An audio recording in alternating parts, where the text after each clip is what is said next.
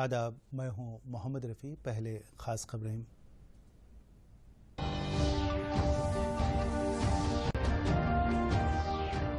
दसवीं जमात के तमाम तलबा को इम्तहान के बगैर प्रमोट करने रियासती हुकूमत का फैसला।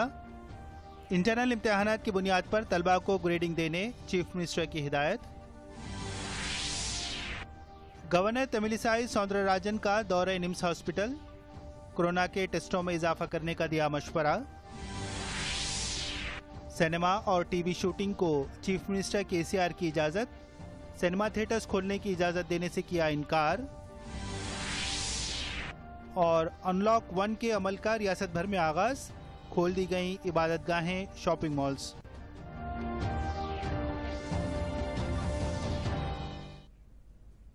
अब पेश तफसील। रियासत में दसवीं जमात के इम्तहान को मुनद किए बगैर ही तमाम तलबा को प्रमोट करने का हुकूमत ने फैसला किया है। हुकूमत का कहना है कि कोरोना वायरस की वजह से फिल वक्त दसवीं जमात के इम्तहान मुनद करना मुमकिन नहीं है। चीफ मिनिस्टर चंद्रशेखर राव ने इम्तहान के बगैर ही तमाम तलबा को कामयाब करार देने की अहदेदारों को हिदायत दी। दसवीं जमात के तलबा को इंटरनल इम्तहान में आने वाले निशानात की बुनियाद पर कामयाबी का ग्रेड तयन करने का फैसला किया गया।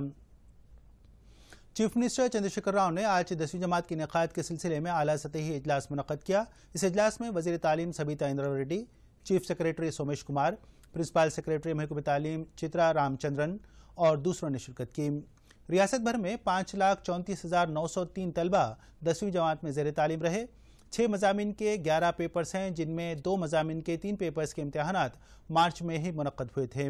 ताहम कोरोना वायरस और लॉकडाउन की वजह से हाईकोर्ट ने दसवीं जमात के इम्तहान पर रोक लगा दी थी। आज के इजलास में चीफ मिनिस्टर ने अहदेदारों से मुशावरत के बाद मुल्क भर की मुख्तलिफ़ रियासतों में दसवीं जमात के इम्तहान के सिलसिले में अख्तियार की गई हुकमत अमली का जायजा लिया। बाद हज़ार रियासत के तमाम तलबा को कामयाब करार देने का फैसला किया गया। हुकूमत का कहना है कि डिग्री और पी जी के इम्तहान के इनका के सिलसिले में मुस्तबिल की सूरत हाल की मुनासिबत से फैसला किया जाएगा। रियासती हाई कोर्ट ने कोरोना वायरस के टेस्ट के मामले में अदालती अहकाम पर अमल न करने हुकूमत पर बरहमी ज़ाहिर की है। अदालत ने आज की समात में इंतबा दिया कि अहकाम पर अमल न करने की सूरत में महकूम सेहत के अहदेदारों पर तहकीर अदालत की कार्रवाई की जाएगी और महकूम सेहत के principal secretary, director public health को इसके लिए जिम्मेदार करार देने का भी इंतबा दिया। अदालत ने सत्रह जून तक हलफनामा दाखिल करने की महकूम सेहत को हिदायत दी। समात के दौरान हाईकोर्ट ने हुकूमत से सवाल किया कि दवाखानों में फौत होने वाले अफराद के पोस्टमार्टम करवाने की हिदायत पर क्यों अमल नहीं किया गया? कोविड 19 लॉकडाउन की वजह से बंद किए गए मजहबी मकाम शॉपिंग मॉल्स, रेस्टोरेंट्स, होटल्स और दफातर बाज शरात के साथ आज कई रियासतों में दोबारा खुल गए। ये इदारे सिर्फ़ उन इलाकों में खुले गए जहाँ रेड जोन से बाहर हैं। इन इदारों को सरकार की जानब से जारी किए गए सभी रहनुमाना खतूत पर सख्ती के साथ अमल करना होगा ताकि एक दूसरे से दूरी बनाए रखने को यकीनी बनाया जा सके। कई रियासतों में अफराद की हजूम और एक दूसरे से दूरी बरकरार रखने के ताल्लुक से तशवीश के तनाजुर में सरकर्दा मजहबी मकाम फ़िलहाल नहीं खोले गए हैं। शॉपिंग मॉल्स में अमले की इन अहदेदारों और अफराद को दाखिल होने की इजाज़त है, जिनमें किसी तरह की अलामत नहीं हैं। दारकूमत दिल्ली में आज सुबह से मजहबी मकाम खुल गए और लोग एक दूसरे से दूरी बनाए रखने और सफ, सफ़ाई के इकदाम पर अमल करते हुए वहाँ जा रहे हैं। दिल्ली की जामा मस्जिद के शाही इमाम सैयद अहमद बुखारी ने कहा कि मस्जिद में एक दूसरे से दूरी बनाए रखने और सैनिटाइजेशन के इकदाम पर अमल किया जा रहा है। इधर तेलंगाना में भी तमाम मजहबी मकाम रेस्टोरेंट्स और होटल्स खोल दिए गए हैं। रियासत की तमाम मसाजिद में मुसलियों की तादाद में इजाफा देखा गया है। शहर की मसाजिद में समाजी दूरी के असूलों की पाबंदी के साथ नमाज़ का अहतमाम किया जा रहा है। रियासती गवर्नर तमिलसाई सौंदरराजन ने आज शहर के निम्स हॉस्पिटल का दौरा करते हुए कोरोना वायरस से मुतासर डॉक्टर्स और स्टाफ को फराहम किए जाने वाले इलाज का जायजा लिया। गवर्नर ने निम्स हॉस्पिटल के अहदेदारों से बातचीत करते हुए हॉस्पिटल की सूरत हाल का जायजा लिया और मुतासर डॉक्टर्स और स्टाफ को बेहतर से बेहतर इलाज फराहम करने और उनकी आजिलाना सेहतियाबी के लिए नेक तमन्नाओं का इजहार किया। वाज रहे कि निम्स हॉस्पिटल में अब तक चार प्रोफेसर्स, आठ रेजिडेंट डॉक्टर्स और आठ पैरामेडिकल स्टाफ कोरोना वायरस से मुतासर हुए हैं, जिसके बाद मुतासर डॉक्टर्स और स्टाफ से रास्त रब्त में रहने वाले दीगर डॉक्टर्स और स्टाफ को क्वारंटीन कर दिया गया है। शहर हैदराबाद में कोरोना वायरस के मुस्बत केसेस में दिन ब दिन इजाफा होता जा रहा है। ताज़ा वाक़े में ग्रेटर हैदराबाद म्यूनसिपल कॉरपोरेशन के सदर दफ्तर में काम करने वाले मुलाजिमिन का टेस्ट पॉजिटिव आया, जिसके बाद जीएचएमसी की इमारत के चौथे मंजिल को मुकम्मल तौर पर बंद कर दिया गया, जहाँ ये मुलाजिम एक सेक्शन में काम करता था। उस सेक्शन में काम करने वाले दीगर मुलाजिमीन और अहदेदारों को घर पर रहने का मशवरा दिया गया और सारे फ्लोर को सैनिटाइज किया गया। बताया जाता है कि जेएचएमसी के सदर दफ्तर में एक हज़ार मुलाजिमीन काम करते हैं। चीफ मिनिस्टर के चंद्रशेखर राव ने कोविड 19 और लॉकडाउन की गाइडलाइंस पर अमल करते हुए रियासत में सिनेमा और टीवी प्रोग्राम्स की शूटिंग की इजाज़त दे दी है। इससे मुतालिक एक फ़ाइल पर चीफ मिनिस्टर ने आज दस्तखत कर दिए चीफ मिनिस्टर ने वाजे किया है कि महदूद स्टाफ और हुकूमत की गाइडलाइंस पर अमल करते हुए सिनेमा और टीवी प्रोग्राम की शूटिंग की जा सकती है। शूटिंग की तकमील के बाद इसके पोस्ट प्रोडक्शन के कामों को भी अंजाम दिया जा सकता है। रियासती हुकूमत ने मरकजी हुकूमत की गाइडलाइंस की वजह से रियासत में थिएटर्स को खोलने की इजाज़त देने से इनकार कर दिया। इससे पहले फ़िल्म इंडस्ट्री के ताल्लुक रखने वाले कई शख्सियतों ने चीफ मिनिस्टर के सी मुलाकात करते हुए सिनेमा और टीवी की शूटिंग, पोस्ट प्रोडक्शन के कामों को अंजाम देने और सिनेमा थिएटर्स को खोलने की दरख्वास्त की थी। जिस पर आज चीफ मिनिस्टर ने इस खसूस में तैयार करदा फ़ाइल पर दस्तखत कर दिए हैं। मुल्क में कोरोना वायरस के केसेस में रोज बरोज इजाफा हो रहा है और गुजशत चौबीस घंटों के दौरान नौ हज़ार नौ सौ तिरासी नए केसेस सामने आए हैं, जबकि इस अरसे में मजीद दो सौ छह अफराद हलाक हो गए। सेहत व खानदानी बहबूद की मरकजी वजारत की जारी करदा, ताज़ा तरीन आदत शुमार के मुताबिक मुल्क में कोरोना वायरस मुतासरी की तादाद दो लाख छप्पन हज़ार छः सौ ग्यारह हो गई है जबकि जबकि इस वबा की वजह से सात हज़ार एक सौ पैंतीस अफराद लुकम अजल बन चुके हैं। मुल्क में फ़िलहाल एक लाख पच्चीस हज़ार तीन सौ इक्यासी कोरोना के फाल केसेस हैं, जबकि एक लाख पच्चीस हज़ार तीन सौ इक्यासी अफराद इस वबा से सेहतियाब हो चुके हैं।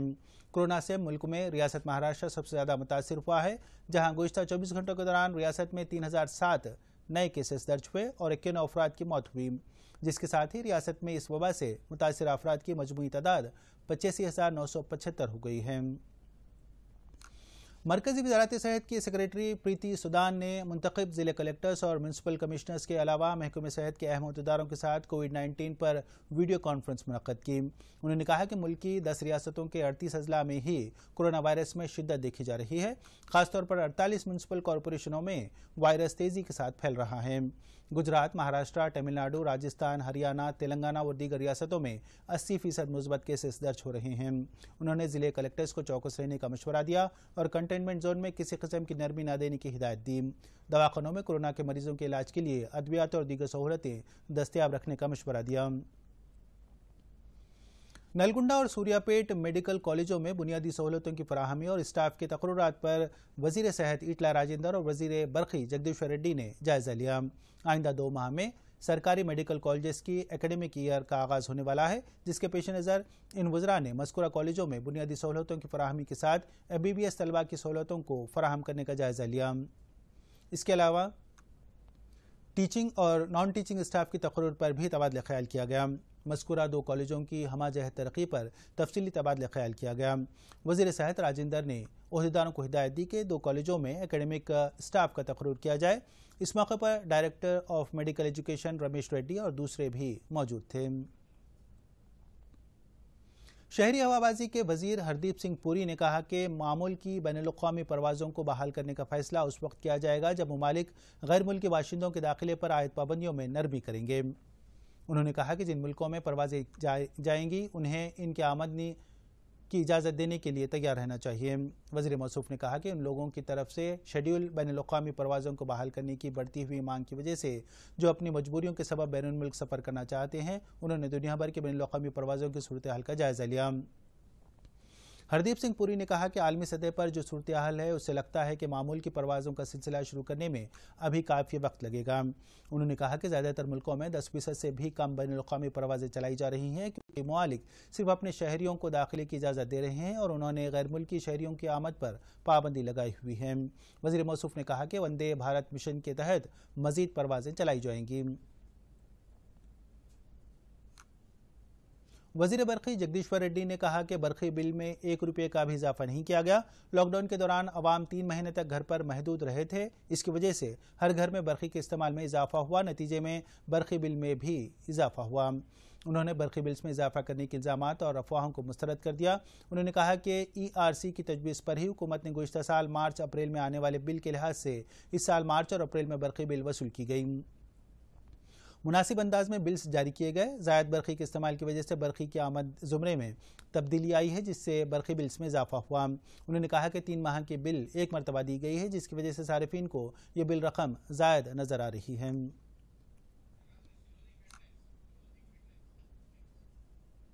आखिर में खबरों का खुलासा एक बार फिर।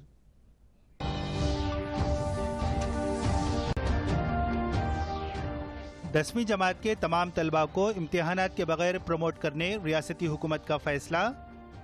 इंटरनल इम्तहान की बुनियाद पर तलबा को ग्रेडिंग देने चीफ मिनिस्टर की हिदायत। गवर्नर तमिलिसाई सौंदरराजन का दौरे निम्स हॉस्पिटल। कोरोना के टेस्टों में इजाफा करने का दिया मशवरा। सिनेमा और टीवी शूटिंग को चीफ मिनिस्टर के की इजाज़त। सिनेमा थिएटर्स खोलने की इजाज़त देने से किया इनकार। और अनलॉक वन के अमल का रियासत भर में आगाज़, खोल दी गई इबादत गाहें शॉपिंग मॉल्स